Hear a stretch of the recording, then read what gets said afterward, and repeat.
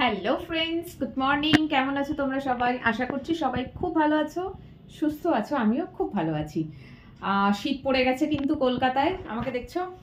এটা হচ্ছে একটা উলেন ফ্রক বলতে পারো। এই যে। ভাবছিলাম এই বছর এটা আমার গায়ে হবে না। কারণ আমি একটু ফ্যাটি হয়েছি আগের থেকে। এটা এটা হচ্ছে টু থাউজেন্ড টোয়েন্টি ওয়ানের ঠিক আছে টু থাউজেন্ড টোয়েন্টি থ্রি চলছে, তো টু থাউজেন্ড টোয়েন্টি ওয়ানে আমি যা ছিলাম, তার থেকে একটু বেড়ে গিয়েছি মানে ফ্যাটি হয়েছি, বেড়েছি মানে হাইটে নয়। তো ভাবছিলাম হবে না বাট ফাইনালি এটা যখন বার করলাম, দেখলাম এই দেখো স্ট্রেচেবল মানে উলেন তো এমনি স্ট্রেচেবল হয় বেশ ভালো মানে হয়েছে আমার গায়ে পরার মতন। এটা আমার খুব পছন্দের একটা ফ্রক এই যে।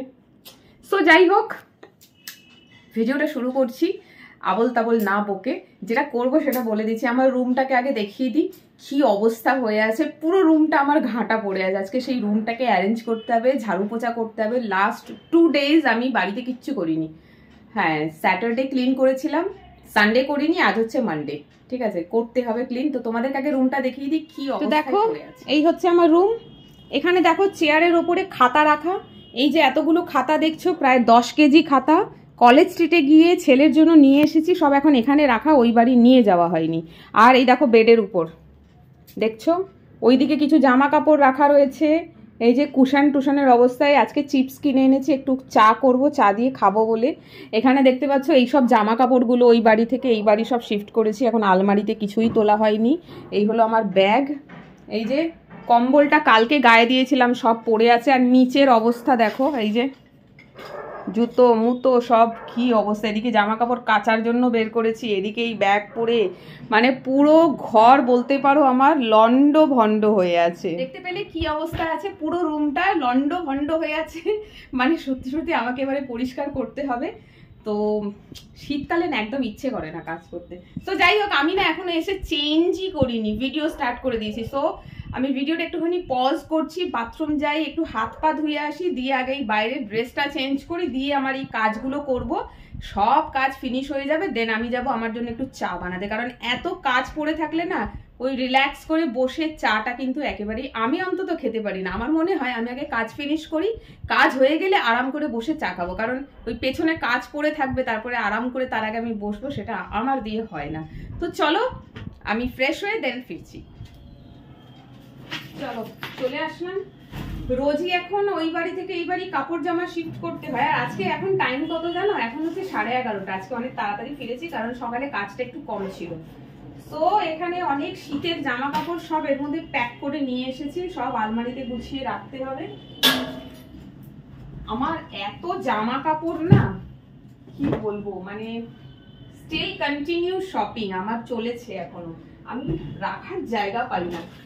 প্রচুর প্রচুর প্রচুর আমি কিনতে ভালোবাসি। মানে যদি তোমরা আমাকে বলো না, তোমার হবি কি? আমি বলব শপিং হ্যাঁ শপিং মানে এমন না যে ব্র্যান্ডেড জিনিস, দামি কস্টলি জিনিস। না, একশো টাকার জিনিসও যদি হয়, সেটাই আমার কাছে শপিং তো আমি যখনই শপিং করি, সস্তারই শপিং করি, যাতে অনেক কিনতে পারি। তো যাই হোক, চলো, বিছানাটা একটু ঝেড়ে নিই। বিছানাটা ধুলো হয়েছে অনেক। আমি একাই ধুলো করেছি।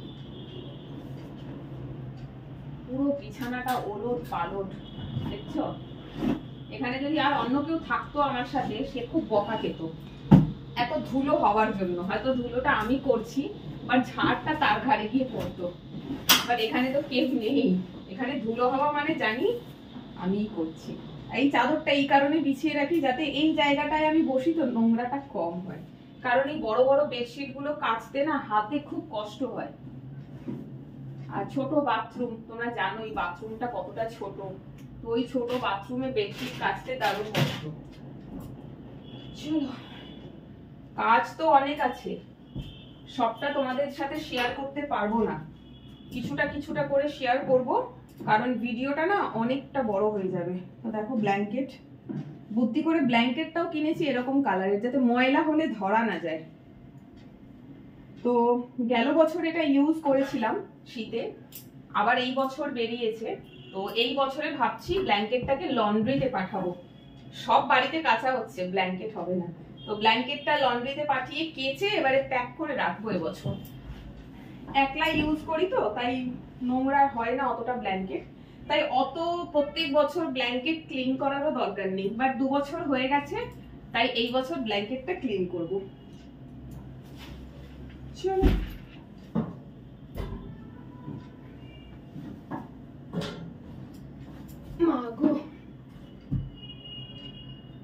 মেয়েদের শান্তি নাই। কোথাও শান্তি নেই বাপের বাড়িতেও শান্তি নেই শ্বশুর বাড়িতেও শান্তি নেই সব জায়গাতেই কাজ আর কাজ। যাই হোক এই অবধি হলো। আমি না রুম রুম রোজ পরিষ্কার করতে ভালোবাসি।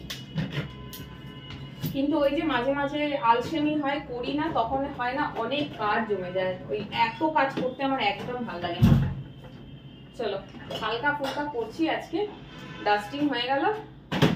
এবারে রুমটাকে ক্লিন করব। জলের বোতলগুলোও দেখছ খালি পড়ে আছে। চলো, এই যে জুতো। জুতোটাকে বক্স খাটের মধ্যে তুলে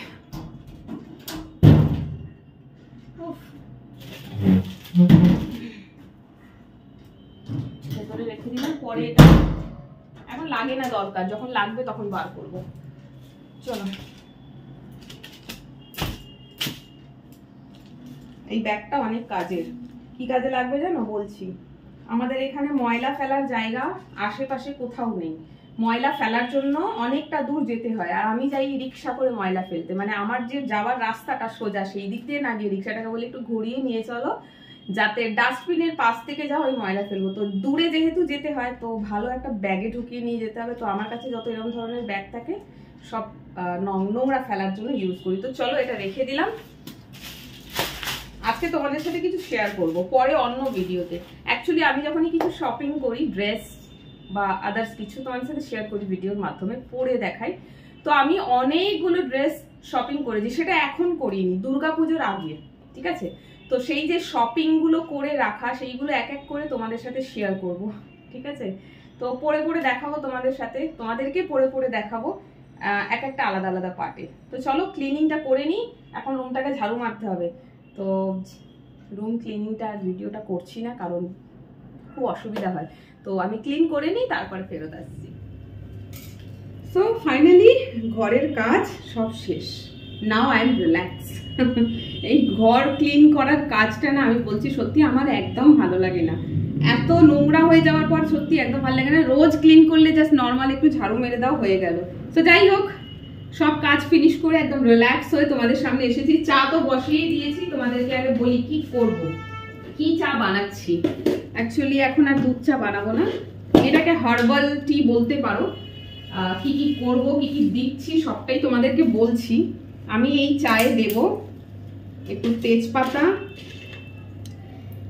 একটু দারচিনি, একটা লবঙ্গ, আর দুটো এলাচ। আমি কিন্তু এখনও চা পাতা দিইনি, ঠিক আছে? চা পাতাটা পরে দেবো, কারণ ব্ল্যাক টিতে চা পাতাটা দিয়ে বেশিক্ষণ ফোটালে চায়ের রং কালো হয়ে যায়। দুটো তেজ সরি এক, একটু তেজপাতা, একটা লবঙ্গ, একটু দারচিনি, দুটো এলাচ দিলাম। এইবারে দেবো হচ্ছে একটু আদা। তো আদাটা ফ্রিজ থেকে বার করাই হয়নি, আমি ফ্রিজ থেকে বার করি আগে। এই যে।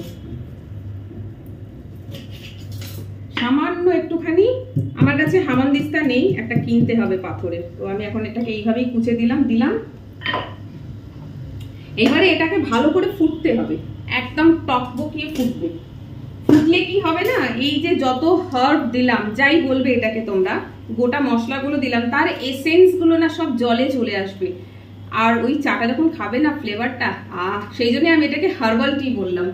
তো যাই হোক, জলটা ফুটতে শুরু করে দিয়েছে। আমি জল দিয়েছি এখানটা, এই যে এক কাপ এই কাপে এক কাপ আর একটু বেশি দিয়েছি। কারণ যেহেতু এটা খানিকক্ষণ আমি ফোটাবো তো জলটা তো ফুটে একটুখানি কমেই যাবে সেই জন্য এক সেকেন্ড। আমি পুরো হাঁপাচ্ছি। আজকে এসে জল খেতে ভুলে গেছি। এক মিনিট।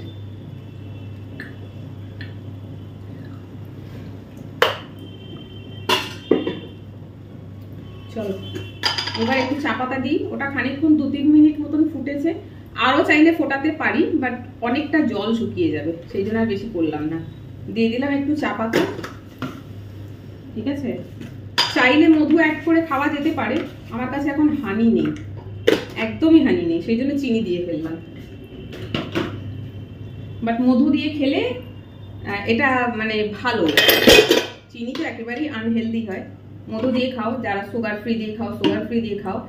একটু মিষ্টি না হলে না ঠিক চাটা জমে না। যাই হোক, হয়ে গেল, চিনি দিয়ে দিয়েছি। এবার এর মধ্যে এক চিলটে নুন দেবো। এক চিলটে একটু ব্যাস। বেশি নয়। হয়ে গেল আমার চা রেডি চলো, চাটাকে ছাকবো, তোমাদেরকে কালারটা দেখাচ্ছি। এই চাটা খেতে এত সুন্দর হয় না? হ্যাঁ জানি অনেক সুন্দর হয়। চলো, গ্যাসটা বন্ধ করে তোমাদের সাথে কথা বলছি, দাঁড়াও। চাটা আর বেশি ফোটাবো না। খুব ভালো হয় খেতে ফ্লেভারটার জন্য বাট আমার আবার দুধ চা ছাড়া চলে না। দেখো, চাটা ছাঁকছি। লেবু দেবো না এতে। এটা কিন্তু লেবু লেবু চা নয়। দেখো, চাটা ফুটে ফুটে কতটা কমে গিয়েছে। পুরো এক কাপও হয়নি। তো চলো, এবারে বেডরুমে চলে যাই, গিয়ে তোমাদের সাথে বাকি কথাটা বলছি। চলে আসলাম, চা নিয়ে। সেই দিন এইরকমই লেবু চা খেতে খেতে বিছানায় চা পড়ে গিয়েছিল। আমি খুব বেঁচে বেঁচে চালাই, ম্যাট্রেসটায় বেশি জল টল যদি পড়ে যায় না, ম্যাট্রেসটা খারাপ হয়ে যাবে। বাট সেদিনকে একদম বুঝতেই পারিনি কীভাবে হাত লেগে অনেকটা চা পড়ে গিয়েছিল বেডে। তো কি করব? খানিকক্ষণ একটু কাপড় চাপলাম, তারপরে আয়রন দিয়ে আয়রন করে দিলাম। সেই জন্য আয়রনটা বাইরে। আয়রন করেছি কবে জানো? কবে করলাম আয়রন বৃহস্পতিবার দিন আয়রন করেছি। তারপরে আয়রনটাকে আমি ওইদিকে সাইডে রেখেছিলাম, ভুলেই গেছি। আজকে ঘর ঝাঁট দিতে গিয়ে দেখছি আয়রনটা বাইরে। একটা ইঁদুর আমার ঘরে ঘুরঘুর করে। ভাগ্যিস কেটে দেয়নি, কপাল ভালো আমার। চলো, হয়ে গেছে? মোটামুটি। এই যে একটা জামা আছে লাল রঙের, তোমাদের সাথে এটা শেয়ার করা হয়নি। ছবি হয়তো দেখেছ বাট শেয়ার করা হয়নি সেইভাবে তোমাদের সাথে। তো তোমাদের সাথে সেটা শেয়ার করব, একটা ভিডিও বানাবো। তো চলো, এখন আমি চা খাই, আর ব্লিঙ্কিট অ্যাপ থেকে কিছু গ্রসারিজ জিনিস আমার অর্ডার করার আছে, সেইগুলো অর্ডার করি, আসুক। আজকে ভাবছি একটু হেয়ার অয়েলিং করব। এই শীতকাল আসলে না, আমার শ্যাম্পু করতে খুব অসুবিধা হয়। সকাল সকাল জল এত বেশি ঠান্ডা থাকে যে শ্যাম্পু করতেই পারি না। আর এখানে দুপুরবেলা এসে আবার এত বেশি দুপুর হয়ে যায় যে তখন রোদ চলে যায়। তো তখনও করা যায় না। তো কখন শ্যাম্পুটা করব? তো আজকে না একটু তাড়াতাড়ি এসেছি। ভাবছি একটু হেয়ার অয়েলিং করি। এক ঘণ্টা পর শ্যাম্পু করব। আর ভাবছি শ্যাম্পুটা ছাদে গিয়ে করব। আমি জানি না ছাদের কলে জল পড়ছে কিনা, কিন্তু ছাদে না আজকে খুব রোদ। তো ভাবছি ওপরে গিয়ে শ্যাম্পুটা করব। জানি না ওপরে গিয়ে আমি করতে পারব কিনা, দেখছি। যদি না পারি, তো এমনিও ভাবছি এখানে হেয়ার ওয়াশ করে নিয়ে ছাদে রোদে যাব একটা ভিডিও করব। তো চলো, আজকের ভিডিওটা এখানেই অফ করছি। ফ্যানটা অফ করতে ভুলে গেছি। ঘর পুছে ফ্যান চালিয়ে কাজ করছিলাম ওদিকে। শীত করছে। তো ফ্যানটা অফ করি, দিয়ে চাটা খাই ব্লিঙ্কিটে জিনিস অর্ডার করি, দিয়ে তারপরে আসবে জিনিসগুলো হেয়ার অয়েলিং করব, তারপর বাকি কাজ করব। বাট নাও ভিডিওটা এখানে অফ করছি। তোমরা ভিডিওটা দেখো, কেমন লাগল কমেন্ট করে জানিও। টাটা!